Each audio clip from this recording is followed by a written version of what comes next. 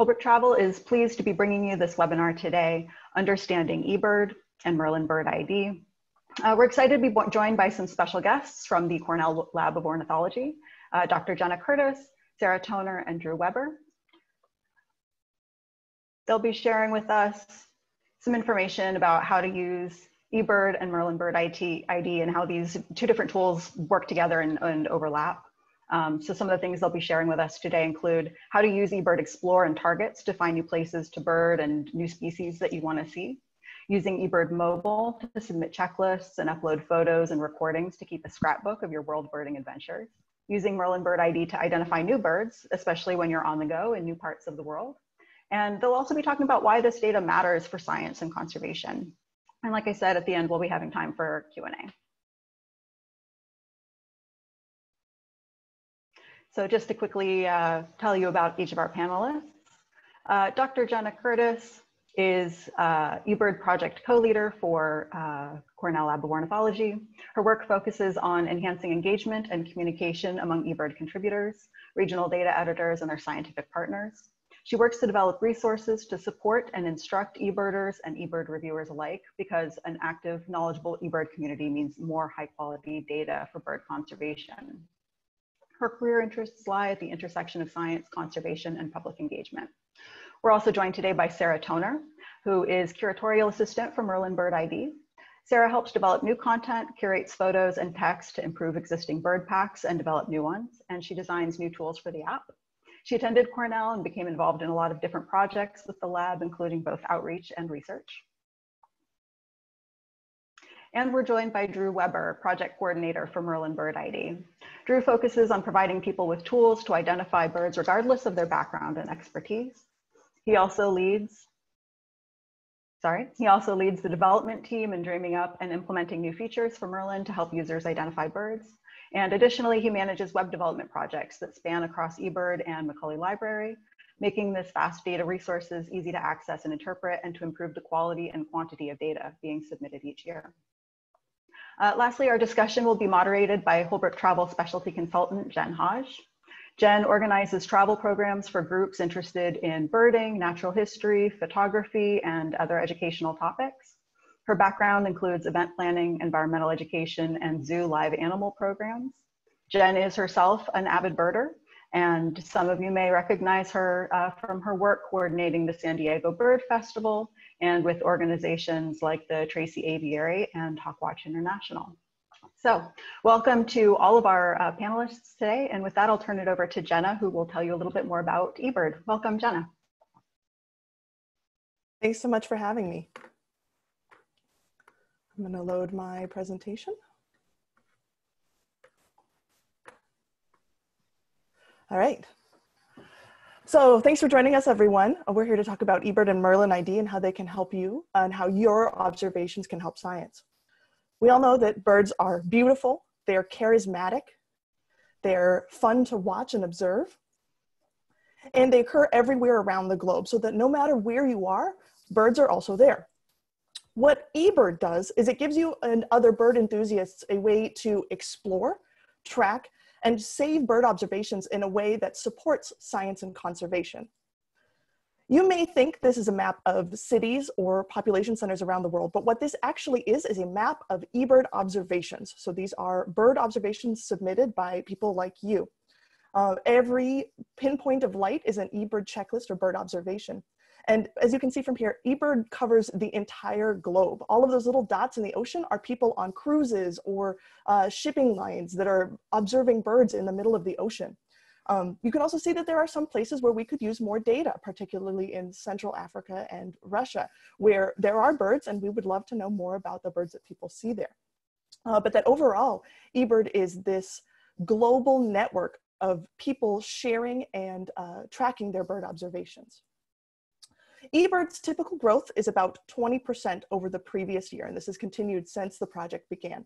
One interesting thing you can see in our growth charts is that there is an annual peak in observations around the breeding season in North America. So you can actually track when birders are observing birds based on their submissions to eBird. eBird currently has over uh, 50, over 500,000 data contributors covering 10,507 species. That is 98% of the world's birds are uh, in, eBird, in the eBird database as observations. We have over 60 million checklists and as of last month, over 800 million individual bird observations. And one thing that very recently has been um, exciting and interesting to us is that this uh, recent spring migration period, checklists and users are, are up over 40%, which is double our expected growth. Audio recordings are up nearly 100%, and photo uploads are up 53%. So these are all well above our typical growth that we would expect from eBird. 2020 is a very um, exciting year to be an eBird participant. This is record-setting growth for us. We are currently on track this May for 1 million bird observations per day. So every day, 1 million birds are observed and reported to eBird.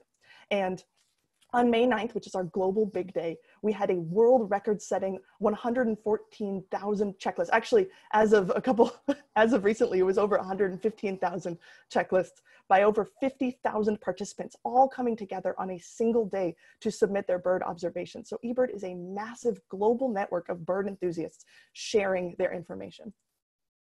eBird works through a combination of bird observations submitted through our mobile app and our eBird website. The mobile app is what you may be most interested in. It's a free application that allows you to track and submit your bird observations in the field. So while you're out birding, you can keep a list of the birds you see and then submit it to the eBird website. The easy thing about the app is that it automatically collects a lot of information, such as your location, date, time. It all collects it automatically for you. So all you have to do is focus on the birds. The phone then uses your GPS and previous eBird data to eh, generate a list of expected species for your area. So while you're entering birds into the checklist, you're getting a list of birds that might be expected for where you are. There's different ways that you can sort your information on the app, such as by most likely species or by taxonomy. And then you can just keep a list of the individual birds you see as you go. Um, you can also look up individual birds that you might have seen. And when you're done, you have a chance to review, share, and then submit your list. Again, things like distance traveled and the time that you were birding is automatically calculated, so you don't have to worry about the effort information. The app keeps all of that logged for you.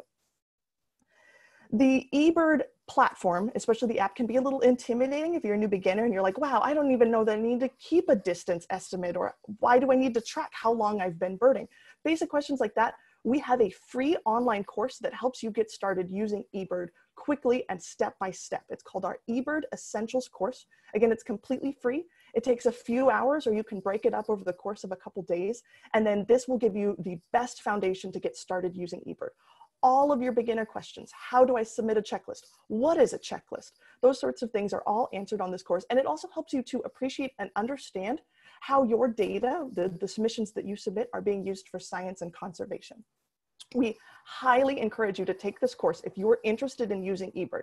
And throughout this presentation, I'm going to be explaining some of the ways that everyone can use eBird, how scientists use eBird, and if you want to get involved, eBird Essentials is the best place to get started. So some of the features that eBird offers, so eBird's goal fundamentally is to create a database of reliable bird observations for science and conservation through citizen scientist contributions. And by citizen scientists, I mean people like you. We're all citizen scientists. However, there are some features beyond science and conservation that we offer that you may find interesting.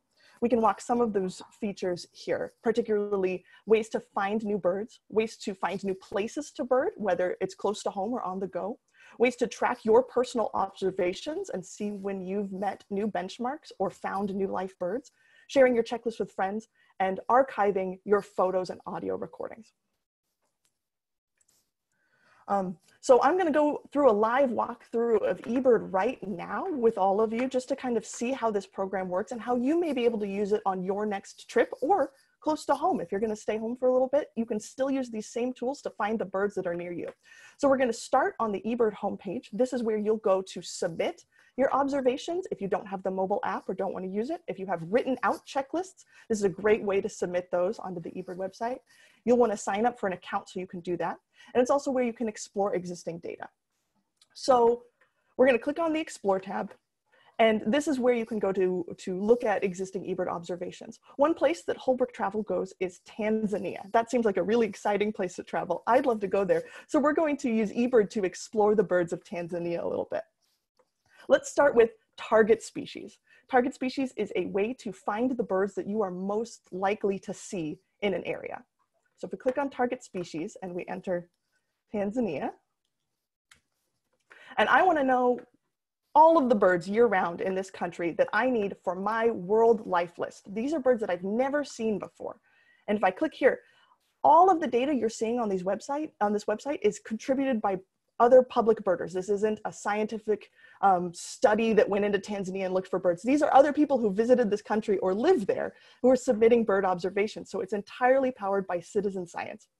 And it looks like based on this list, there are almost a thousand species that I could see in Tanzania throughout the year. The most likely one is the common bulbul. What does that look like? I can click on this species to go to another part of the site, the species pages, which are where you can see photos, uh, your observations and other observations for that country, sounds if you want to learn what the bird looks like or sounds like these are all features and again these photos and sounds are recorded by people just like you and me as well so it's a good way to see how other people are experiencing the common bulbul or any other bird. And then we can also look at the range map here, click on large map, and this will show me a live map of all of the common bulbul observations in Tanzania. If I zoom in, I can actually see individual points where people have observed this bird, including red dots mean recently. So I know that if I really wanted to see this bird, I could go to the places where there are red dots and find it. Uh, another way, if you don't want to look for particular birds, you just want to go where there are going to be lots of birds, is to go back to the Explore page and click Explore Hotspots. Hotspots are uh, popular or good birding locations that have been submitted or suggested by uh, other birders. So if we click on Explore Hotspots, we first start with a global map of all of the hotspots in the world. And you can see that the redder the color, the more bird species have been reported there. So if we really want to see a lot of birds, maybe Central America and South America the best places to go. But uh, Eastern Africa also provides a lot of birding opportunities. So we can still, again, go to Tanzania and we'll zoom in and see all of the birding hotspots there. And so it looks like the Serengeti is definitely a place we want to go to find lots of birds. In fact, Serengeti National Park has observed over 577 different bird species people have reported there. And I can see the details to, there we go, uh, to see all of uh, recent reports. So on the 9th of March, someone reported these birds from Serengeti National Park. So I can actually say, if I'm going to Serengeti, what birds will I find there? Well, these are the birds that other people have reported recently. Uh, and so maybe I can expect to see those as well. One of my favorite features about the Explore Hotspots page is the illustrated checklist. And you can do this for any region, for an entire country or a single site. But what it does is it gives you not only a bar chart of when a bird has been observed, but also photos and sounds that other people have taken of it. So not only can I see a list of birds that have been observed in the Serengeti, but I can actually see pictures of them as well, the best photos. And hey, if I see something that doesn't have a photo, maybe I'll take a picture of it and contribute it. And then my photo will show up on this page as well. So this is a fun way to, to just explore the birds that you could see on your travels and, and get excited for these trips. Uh, another fun feature that eBird offers that you can contribute to are photo streams of just great bird photos that are coming in on the web, and that's through the search photos and sounds. So maybe you're not going to be traveling anytime soon, but you want to get that sense that you're on an exotic vacation, or you want to get you want to start planning your next trip. You can go to our live photo stream and type in a country and get either recently uploaded photos or my favorite is to go to best quality. And I just love browsing through these photos every day and just looking at these amazing photos of birds taken by people, uh, just other bird enthusiasts. It's a fun way to explore birds through eBird. So Again, all of this happens on eBird. And what this, everything you just saw is public contributions, people like you and me. And I will emphasize this over and over again because what this means is that your birding checklists matter. When you submit observations to eBird, they power this amazing bird finding tool that also supports science and conservation.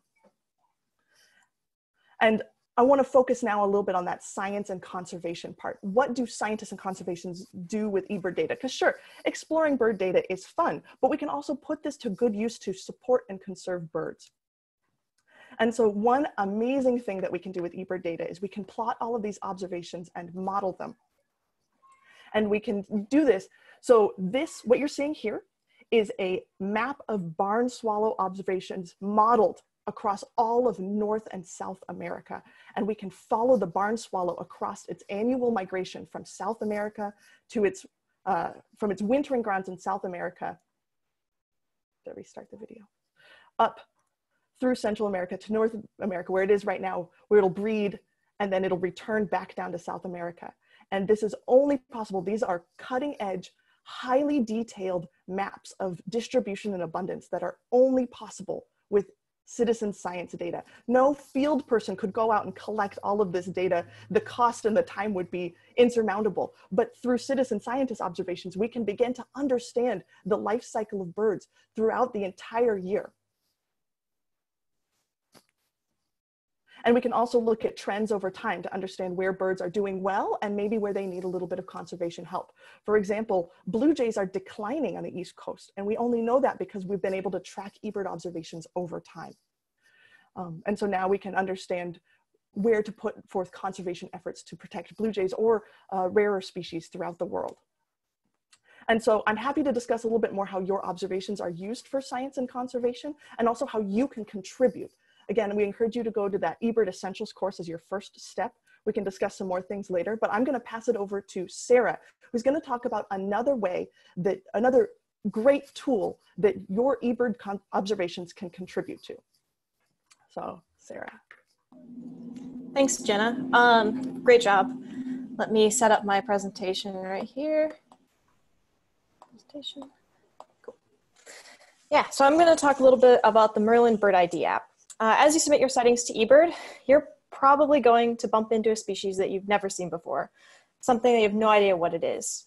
Maybe it's, and this won't let me advance my slides. Ah, maybe it is a new visitor to your backyard, or maybe on your travels you see some stunning, almost unreal bird. The first step in finding out more about a bird and sharing your sighting with others is putting a name on it but that can be a challenge. You can try looking through a field guide um, that's often to an entire country, so you have to page through hundreds of pages of illustrations to find the one that match what you saw. Or maybe you type in some of the details that you saw into trusty Google search and hope that it comes back with the bird that you saw. These can be really frustrating and time consuming. And here at the Cornell Lab, we get a lot of bird identification help requests. And we realized that people were looking for something something more. They wanted something that would help them identify birds. And here we have all these wonderful resources. We have millions of observations of birds from eBird that tell us when and where birds are occurring. We have millions of photos and sounds contributed from Macaulay Library users that show us what birds look and sound like. And so we decided to use these resources and build a tool to help people identify birds. So we created the Merlin Bird ID app. Merlin is essentially a birding coach. It'll walk you through the steps of a bird identification and suggest birds. And in doing so, it teaches you how to identify birds and what to look for. Merlin simply asks five questions. When and where did you see the bird? This is important for, uh, for narrowing down the options to those birds that are around you. What size was it? What was it colored? And what was it doing? Size and behavior are often overlooked, but they can be key details in a bird identification. The birds that you see on the ground at your feet are going to be a lot different than the ones soaring high overhead. From those description, Merlin will return a short list of birds that match your description at your location. And this list is illustrated with professional quality photos and sounds, as well as ID tips written by experts, so you can be confident in finding the bird that matches what you saw. And Merlin doesn't just work off of a description, it can also run with photos. If you're in a place that's unfamiliar to you traveling and you can snap a photo with your phone or with a camera, Merlin can take that photo and run it through a state-of-the-art machine learning computer vision model, which will automatically identify the bird for you and bring up its list of suggestions. The photos and sounds and ID tips that Merlin presents to you, you can browse them in the Explore Birds screen. And this gives you a complete field guide to the birds of a region. But it goes even farther than that because we can connect this field guide with the eBird data on when, when and where birds are seen. And we can make a custom list of species in your area, in your immediate vicinity, that you can use to narrow down what to look for, what to study, maybe discover birds that you didn't know were in your area. This works anywhere in the world, and underneath each species name are those bar charts that Jenna mentioned. So you can learn when and where birds are occurring in your backyard or where you'll, wherever you'll be traveling. Plus, you can even sort this, and I find this really helpful when I'm traveling abroad.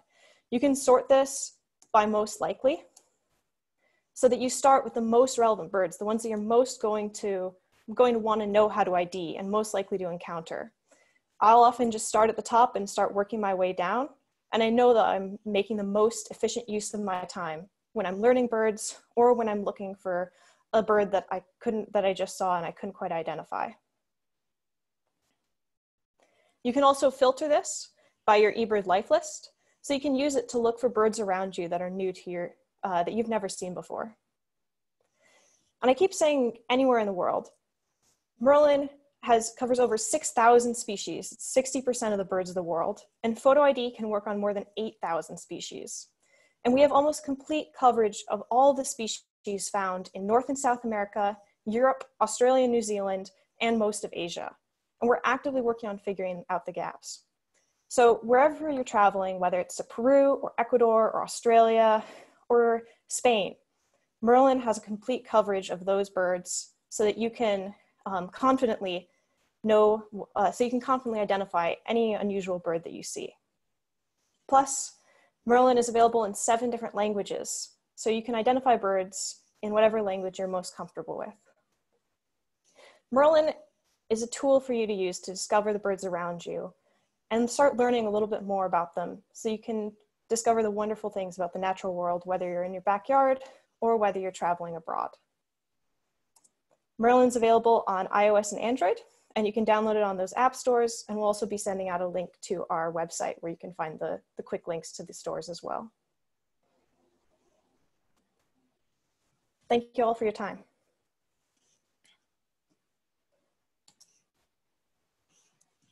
Wonderful, thank you. Um, Jen, I think at this point we'll turn it over to you if you'd like to talk a little bit about how we use eBird. Let me uh, you may need to unmute yourself there, Jen. Sorry about that. I'm uh, just uh, sharing my screen now. Um, and hope everyone can see that. Um, we've got, um, we, we have um, travelers who go all over the world with our um, programs. Um, and I find that many of our travelers are already using eBird and to a lesser degree Merlin to keep track of what they're seeing on their trip. And it's a great way to keep track of things. Uh, we also do, usually on our trips, we have a bird checklist meeting at the end of each day where we can go through all of the sightings that, um, that we had in the day um, it's a very exciting way to to go over that and you know with a nice drink and uh, and your birding friends to talk about what it was what you saw. Um, on our on our trips we also that that list that we use at the end of each day is informed by eBird. So even if you're not using eBird and the app while you're in the field on our trips it's there. Um, here is a look at um, some of the places that we go on our um, Ecuador birding trip that we do. Um, and each of these spots that we go to has a eBird hotspot that is um, associated with it. And so the checklist that we use, we have pulled the data from these hotspots. And um, the checklists are of the birds that are most likely to see in those places. Um, because it's probably not likely that you're going to see a pelagic bird um, in Quito. um, so we don't need to put that on the list and, and have that confuse people. Um, so our lists um, have just that information, um, making it a lot easier for you to keep track of what you've seen. Great, thank you, Jen. Uh, at this point, we'll go ahead and uh, open it up for Q&A.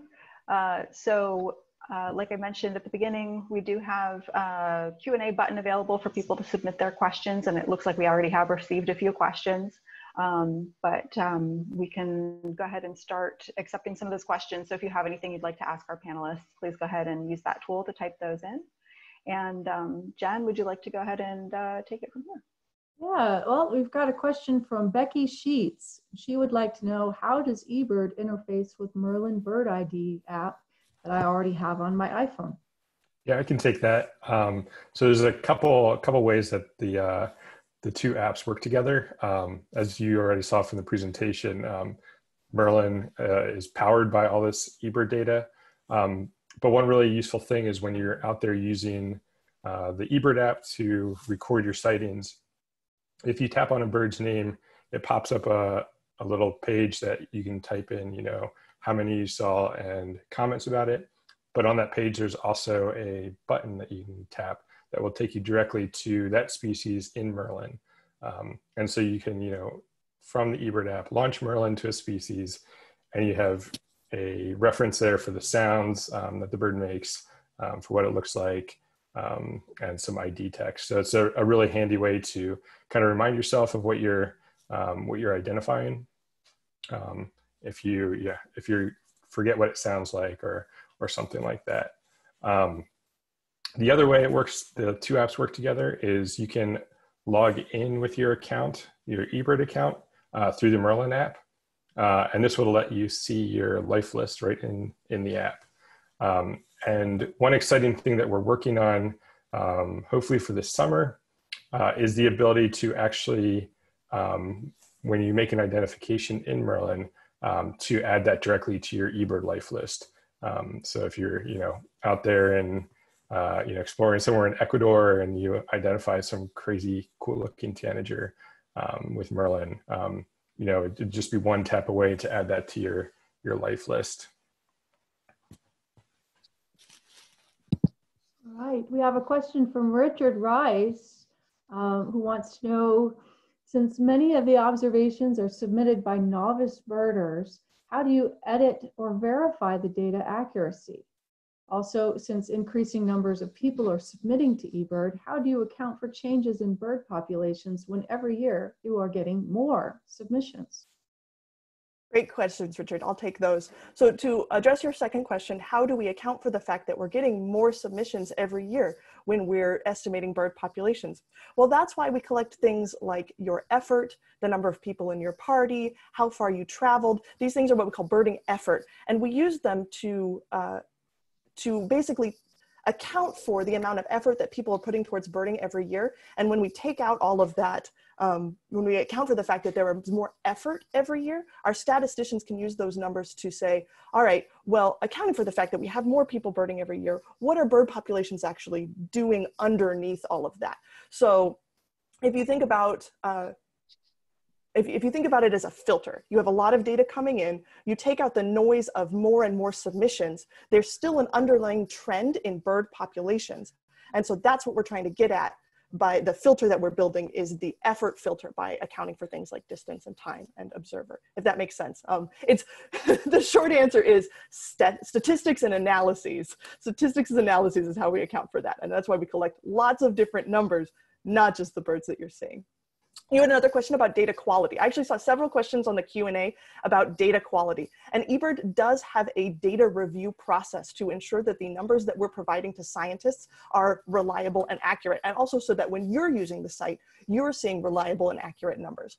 And so this is a twofold system. The first is automatic filters that when you are submitting data will flag things that are unusual for your date and location so that when you are in the field or when you are submitting numbers, you are getting a notification that, hey, something you've seen is, is unusual for this in date and time. Are you sure? Could you please take some extra photos or, or make some notes in the field so that you can document this observation more carefully? Then all of those flagged observations go to volunteer reviewers, over 1,800 volunteers around the world who manually look over all of these unusual reports and assess them to see whether or not they're documented, whether more information is needed, perhaps an ID mistake was made, uh, and correct those things so that the, the observations that are going into the database are confirmed and validated or um, that we're following up with you to, to get more information about your unique and really exciting observation. Every time you see a flag in the app, that's a, that's a sign that you've seen something really exciting.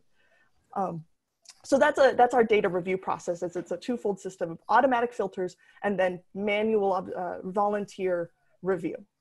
Uh, and if you don't mind, there's another series of questions that I'm seeing in here that I'd like to answer, and that's about historical checklists. Whether or not you have a, a birding checklist from the previous day or the previous year, can you enter that into eBird? That answer is yes. You are welcome to enter the oldest checklists you have. Uh, this is called the Historical Birding Protocol. And when you're learning about eBird, you're gonna learn about the Historical Birding Protocol. It is a way for you to enter your life lists or things that you have from the past that may not have all of the data that would require for a modern day eBird checklist, but still allow you to enter your observations in a way that can be used for science and conservation and ways that you can keep your life list, your historical life list up to date in eBird. We have an entire help page dedicated to uploading your life list to eBird. So if that's something that you're interested in doing, I would encourage you to check out our support page for more information. Wonderful.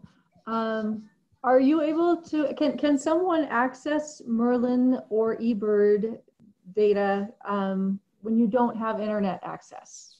So can you submit your lists even if you're not hooked up to the internet? Um, I can take the, uh, the Merlin side of that. Um, Merlin is, uh, we built it to work really well offline. Um, you obviously have to download the app and download the content while you still have a connection. Um, but if you, you know, look up any location, um, in the app through the Explore tools or through the Bird ID tools. Um, those the birds at those locations are saved on your phone. Um, so if you're offline, you can still view that list of birds. You can um, explore all the photos, all the sounds, uh, the maps, the ID text, um, all offline. Um, so all of that works really great. The photo ID tool works completely offline. Um, so even when you're in the middle of the jungle and the Amazon, you can still uh, identify the birds from the photos you're taking. Um, so yeah, all that works really great offline. Um, it should work really well for you. Jenna, do you want to talk about the, the eBird app yeah. offline?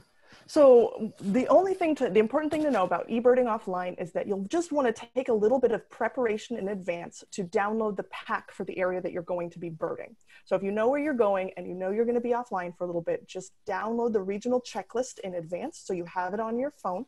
And then you can be in airplane mode. You can have no cell service whatsoever. As long as you've got that pack, you're ready to keep lists. And then you won't be able to submit those lists until you're back into Wi-Fi, but you can store them on your phone as not submitted checklists. And when you have reception again, they're all saved and ready for you to just submit them. So it's entirely possible to, to eBird offline during your travels and then just save your checklist till you're back. Excellent. There were a couple questions relating to um, how how eBird data might be shared with other online databases um, like Esri Arc, ArcGIS or um, with BirdNet. Um, is does eBird talk to these other sources? Is the data being shared at some level? So eBird shares our observations with the GBIF Global Biodiversity Information um, system. So that's another way to, to access these GIS coordinates. We also offer our full database available for free for research and, uh, and um, studies and that sort of thing. So if you just have a personal thing, you want to download all of your bird observations for and GPS locations for your own mapping purposes, that's available to you as well. Um, if you're working on a research project and need detailed lat longs for a certain area or a certain species, that's available to you. Just request it through our website. Uh, unfortunately, we do not share our database with other birding apps like BirdNet. However, if you have BirdNet data you would like to transfer to eBird, we do offer ways of doing that through spreadsheets. So if you've got spreadsheet data of any format, there's a way to uh, format it for eBird instead. And we've got a, a help page. There's a help page for that as well. I can I can comment on the the sounds um, the sound ID stuff and BirdNet. Um, so I, I, think some of you it sounds like have uh, already discovered the BirdNet app. Um, that's a kind of a, a prototype beta project that um, our bioacoustics team is working on, um, and it's you know machine learning to identify bird sounds, and it's really exciting. They've they've done a whole lot to make it really really uh, accurate. Um, currently it's a, it's a beta app that's just available for Android. Um, but you can also go to BirdNet, um, I believe it's birdnet.cornell.edu, um, and upload your bird recordings um, via your browser. Um, and it does a really good job of identifying the things that you've recorded with your with your phone. Um, it's something that we're we're definitely looking into for adding to Merlin. it seems like a you know obvious additional thing to go along with photo identification. Um, so look for that in the next next year or so um, as we as we um, collect more audio recordings and are able to train the, the machine learning models to identify birds. There were several questions related to photographs. Um, in particular, people who have photographs from past trips that um, they might want to add into eBird. Um, you can put in a, a checklist from the past. Can you also do that with photos? Yes, we, we would love it. In fact, the, the growth that we're seeing in photo and audio recordings right now, that massive increase in uploads of these types of media is a, what we think is a direct result of people having a little more time on their hands right now to go through those historic trips and finally get all of their thousands of photos into eBird that they've been meaning to forever.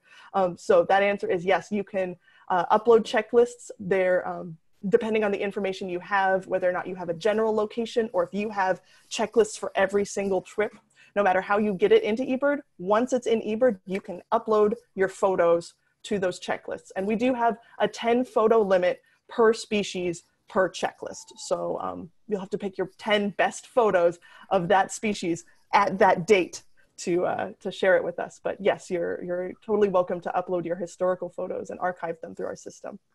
Um, Phyllis had a question. Uh, and one thing that's really important to note is that right now, in order to use some of our Explore tools, you're going to need a free Cornell Lab account. It's free to set up. Um, it will help, it, will be applicable to Merlin and eBird. The same account works on both systems. The reason you need an account is this exciting growth that we've been seeing recently has caused us to uh, past the threshold of what the Google mapping platform allows for our system. So we have so many people using the system right now that they can no longer support our maps on Google Maps. And so we're restricting usage to people who have accounts just so that we can stay within the limits that Google allows us to use for their mapping servers. All right. Um, here's a question about um, unusual sightings. Um, if, if, if, there's an email alert function that sends information on unusual sightings to an area, how is unusual determined?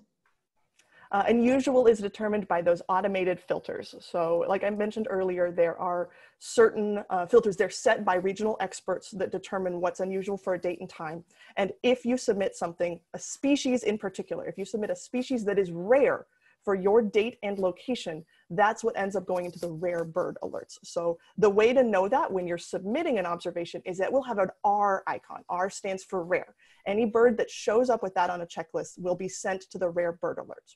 We have a second rare bird alert that's uh, designated for American Birding Association rarities. These are nationwide level rarities, things that are unusual for the entirety of Canada and the United States. And so that's a, an ultra, ultra rare list that's separate from things that might be unusual for your location. So those are the two types of alerts that we offer. That's also on the Explore page. Uh, there are, um, you can sign up for notifications of when unusual birds have been reported near you, and you'll get an email either hourly or per day when something exciting shows up. All right. I have a question from Susan Gare. How do you get a Cornell account? Uh, if you just head over to ebird.org, and there'll be a blue button in the upper right hand corner that says create an account. I believe it may be green now, um, but that's the best place to go. Just ebird.org and then up, look in the upper right hand corner. Powering through some more of these questions. Um, we have Alice Smith, who recently traveled to Tanzania, and um, looks like a year later, they realized that the bird ID'd by their expert on, on their list might not have been correct. Um, can you make corrections to your list? Yes, yes, you definitely can. You can you can always go back and uh, and make changes. And we've just updated our system now that if you go back and make changes to an old list, it will refresh itself back into the review process and get uh, get a new chance to be um, assessed by our reviewers and validated. Um, so, and there's a, an important thing.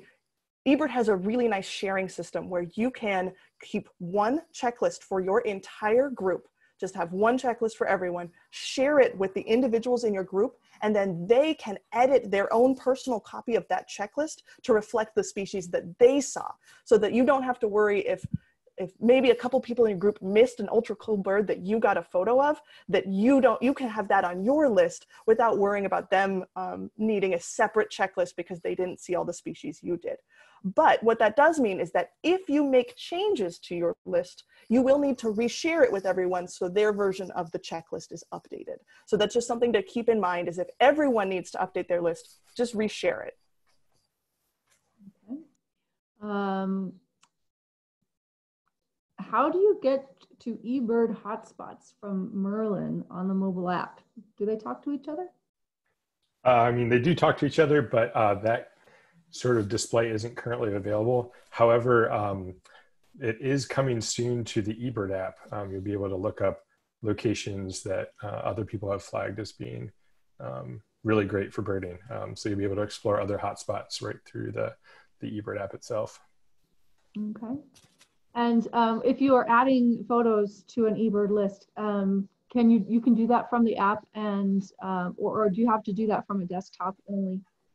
You don't need to do it on a desktop, but unfortunately cannot do it within the eBird mobile app. But what you should do is once you've submitted a checklist through the app, go to that checklist and you'll see a link on the bottom that says uh, ebird.org. Tap that link and it will open the checklist, the website version of the checklist on your mobile device. So then you can add photos and sounds through your mobile device just using a browser rather than the app. So that's a way to link your app to the, to a web browser so you can upload photos. Is just go to ebird.org through the app. Here's this question from Stephen Mink. Do you track how schools, say science classes, are using eBird and Merlin and how this might be facilitated for schools in parts of Africa where the data coverage is thin? Uh, we do track how people are using our data. Every time you download the full database or a regional database that includes more than just your observations, we do ask that you send us a little information so we understand how you're using the, um, the data, what your intended out, outcomes or pro products are. Um, and so we do have ways of tracking who's using it. I will say anecdotally, we have seen a large uptick in data requests from schools and at-home educators developing research curriculums for students to use on their computers when they're not in the classroom through eBird data. Everything from elementary students just exploring bird observations to grad students looking for new ways and new projects to use bird data. They're all requesting eBird data right now. Um, and then in terms of outreach, getting more data from these underrepresented areas, uh, we are we're always looking for new opportunities and new inroads, and we do provide things called portals, which allow local communities to develop an eBird page and an eBird resource specific to their communities. And so I think we we have at least one eBird portal in Africa, and we're always looking to, to grow more. So that's a great opportunity for these communities. They're welcome to reach out to us, um, and we'll help them develop these resources. Yeah, our first eBird portal is in uh, Rwanda, right? I think that's right pretty cool. Yeah, we're we're always looking for uh, more partnerships in uh, in yeah in Africa, um, and we just recently released you know pack that includes all of the species of South Africa, um, and are looking to re, uh, work with uh, local organizations there um, to really get a foothold in in Africa. I mean, we, we've done a lot of outreach in the Americas um, through you know pro- providing portals and bird packs for Merlin um, and doing presentations. And so we're we're kind of looking to do that same thing in in Africa um, in the upcoming years.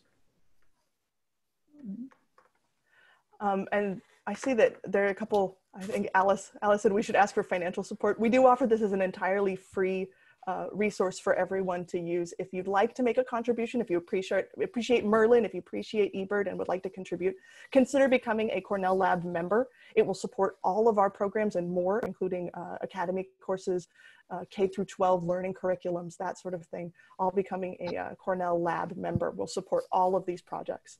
Um, and then if you also make a, a contribution, become an eBird beta tester, which means that you can get developments and new versions of the app before anyone else and you can test them out. So if you're a diehard eBird user who wants to know what we're working on next, that's a great way to become, uh, to become more involved is by being a beta tester. Um, it, that almost wraps up all the questions that we have um, within the, um, the, the, the, webinar. I do have a couple of questions that were asked prior to the webinar. Um, so I wanted to get, gather, just get some information for those. Um, so one of the questions we received was, can eBird be used to know in almost real time what bird species are currently in migration? Sarah, do you want to take this one? Ah, sure thing. Um, yeah, so there's, you've seen the, in these um, in these presentations, you've seen there are a lot of different ways to kind of explore eBird data and explore um, data through Merlin. But the most um, direct way that I think you can use to answer this question is um, through another project that the lab offers called Birdcast. And if I can share my screen. Jen, yep. Yeah. Um, let me pop open. Uh, the website is birdcast.info. And this is um, state-of-the-art modeling of bird migration using uh, radar in order to um, measure how birds are moving across the country. And so they have these really cool migration forecasts that show which areas of the country are having uh, birds are moving the most. And they also have um, really useful species on the move pages.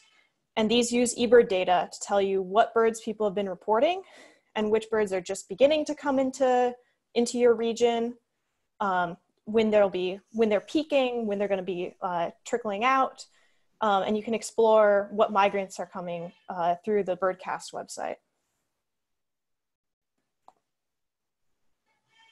Excellent. Ronald dobbin wants to know how are rare bird sightings vetted Hi, Ron. This goes into our uh, review system that I mentioned earlier, the, the 1,800 volunteer reviewers all around the world who are going through and manually looking at rare or unusual bird observations to um, assess what we call documentation. So documentation is a combination of photos, sound recordings, or field notes that you've taken about a bird. This is why we've got that little R icon when you're submitting a checklist is in a way of identifying that you've got something that needs just a little closer look, something that's unusual that could use a photo if you've got the opportunity, or just some really detailed field notes of what you've seen. And then someone's going to look at the documentation you've provided and assess whether it confirms the species that you said it was, or whether maybe there's some opportunity that you just need to clarify the notes, maybe there's uh, some confusion as to what the bird was, um, that sort of thing. Even our, our best experts leaders of the project still make mistakes sometimes. And so that's why photos, sound recordings, and notes are so important to support and provide evidence for unusual observations. So observations and reports are vetted through the documentation that you provide. And the more documentation you provide, the easier it is and the quicker it is to vet these and just say, accept, Ron knows what he's talking about. Look at this amazing photo he took. It's clearly what he said it is, approved. All right. Um, do we have time for a few more questions, Lindsay? Um, I would say maybe one or two more if we have a, a quick couple quick questions, and then we can uh, wrap it up. Okay, uh, I know that um, Jenna, you had said that that you wanted to um, talk a little bit about historical data. I think you talked a little bit about that. Uh, did you you answered that fully and completely? Uh, I will I will add that if you've got spreadsheets, it's okay. We do have a data import system that will allow you to bulk upload up to two megabytes per spreadsheet, which is a, a lot of data. So does, if you have a ton of checklists that you would like to add to our system, they're currently on a spreadsheet, there are ways of getting it into eBird. Okay, great. And where can we go for more information and for self-training programs if we want to be eBird experts? The Essentials course is definitely the best place to start. And then uh, if you're ready for some uh, some more advanced tools, some, some cooler ways of using the system.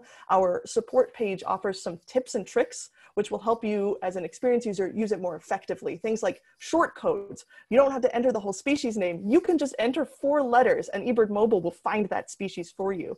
Um, or uh, ways of sorting your list so that the most likely species are at the top and the rare birds are down at the bottom so that you can see the birds that you are most likely to see right at the top. So you don't have to go scrolling through the whole page, those sorts of things. So eBird Essentials, then the support page, uh, and then just keep using the system. Let us know if you have questions um, and get more comfortable with it. And we're, we're just glad to have you no matter what level of eBirder you are.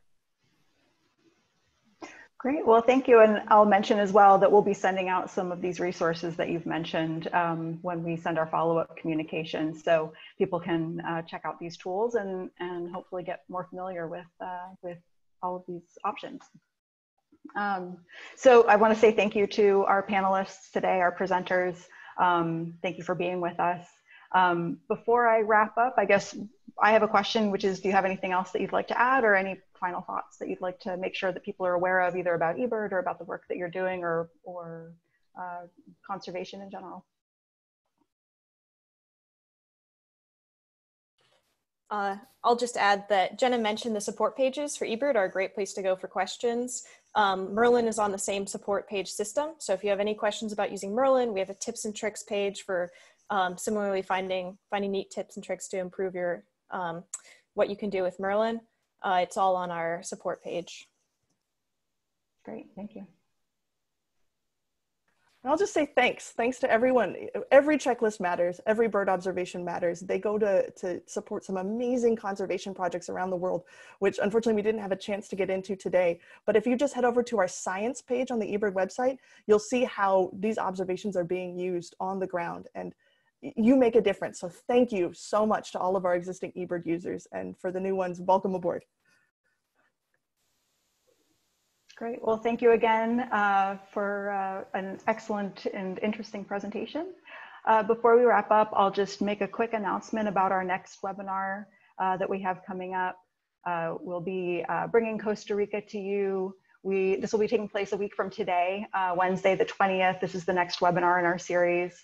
And we'll be hearing from some of our partners in Costa Rica who are excited to share their beautiful country with you and talking about some of the things that are going on there currently and what we might be able to expect in the future. Um, so we hope you can join us.